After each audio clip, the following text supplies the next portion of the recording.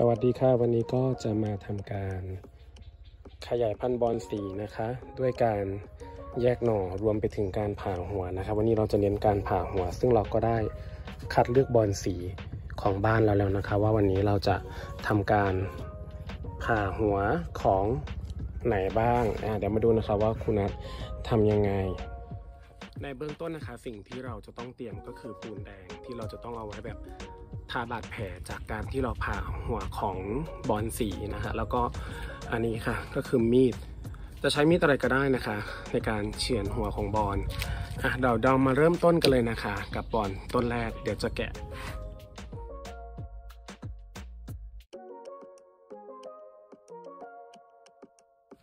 ส่วนของหัวต้นนี้ที่เรา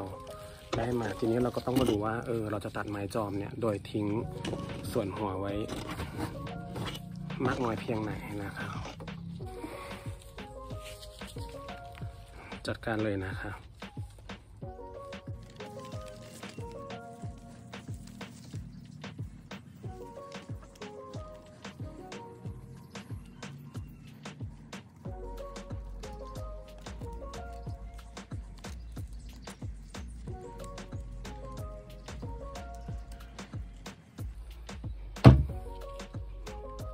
ชนิดแรกเรียบร้อยค่ะอะ อันนี้ก็คือส่วนที่เหลือไว้ให้กับไม้จอมนะคะ เราก็จะทาปูนแดง อันดับแรกก็ต้องเก็บกวาดรากรากที่มีอยู่เนี่ยให้หมดเลยนะคะ อาจจะใช้มีดหรือแบบมือนิ้วของเราแบบดึงออกก็ได้นะคะ เพื่อให้ได้หัวที่เออเรามองเห็นชัดเจน จะได้มองเห็นว่าเขามีตา อยู่ตรงไหนบ้างเขามีเขี้ยวอยู่ตรงไหนบ้างประมาณนั้นนะคะ นี่ อันนี้ก็คือหัวของต้นต้นแรกที่เราทำได้ปูนแดงที่ได้นะคะ งัดออกมาทาในส่วนที่เป็นบาดแผลของเขา ไปก่อน อย่างนี้ แล้วก็เก็บวางไว้ก่อน ส่วนไม้จอมนะคะก็คือ จะได้ไม่เสียเวลาแล้วก็ ทาปูนแดงเช่นเดียวกัน พอมันแห้งเราก็เตรียมที่จะเอาเขาลงกระถางนะคะเราก็เตรียมเอาไปอบ ก็คือต้นนี้ค่ะ ที่เราจะทำการผ่าหัวของเขาในวันนี้เนาะนี่ค่ะ วันนี้ไม่ได้แต่งหน้านะคะ หลังจากนั้นนะคะเราก็จะผ่าหัวบอลนะคะ โดยผ่าแล้วก็ ทาปูนแดงผึ่งไว้นะคะ ทางส่วนของคุณนัทเองเนี่ยจะเน้นผ่าให้ชิ้นโต เพราะว่าถ้าชิ้นโตเนี่ยเขาก็จะโตเร็วนะคะ ไม่ต้องรอนานทันที่จะแบบขายได้อย่างรวดเร็ว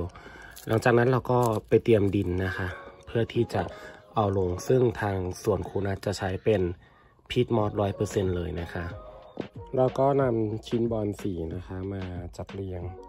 ไว้แบบนี้เลยโดยเน้นเอาทางส่วนที่เป็นสีดำนะคะ ลงไปข้างล่าง ให้มากที่สุดเพื่อที่เขาจะได้ไปสัมผัสกับเนื้อดิน แล้วก็จะได้ออกรากอย่างรวดเร็ว หลังจากนั้นก็ปิดฝาเพื่ออบไว้นะคะ ก็สังเกตถ้าเกิดอบไปสักสองสามวันแล้วมันชื้นมากๆ ก็เปิดเปิดฝาเพื่อไล่ความชื้นออกสักนิดหนึ่งนะครับเพราะถ้าชื้นมากมันก็อาจจะเน่าได้ แล้วนี่ก็คือกลุ่มที่เรา อบมาแล้วได้หนึ่งวันนะคะเราก็จะศึกษาเข้าไปเรื่อยๆค่ะ ก็จะดูไปว่าเป็นยังไง ส่วนอันนี้ก็คืออันที่เพิ่งทำไปวันนี้ ประมาณ1ถึง2เดือนนะคะ ก็จะเริ่มได้ต้นเบบีขึ้นมาแล้วเราก็เปลี่ยนกระถาง เดี๋ยวมารอติดตามกันในคลิปหน้านะคะ ทีนี้เราไปดูต้นต้นแม่ที่เราทำเป็นไม้จอม ว่าเป็นยังไงต้นแม่นะคะที่ทำเป็นไม้จอมเนี่ยเราก็ต้องให้เวลาเขานิดหนึ่ง ก็คือจะเอาไปปลูกแบบธรรมชาติเลยก็คงไม่ได้ แล้วก็ปลูกแล้วก็เอามาอบในถุงนะคะแบบนี้อันนี้ก็คือต้นแม่ของพิษณุโลกของเรานะคะอันนี้ก็เป็น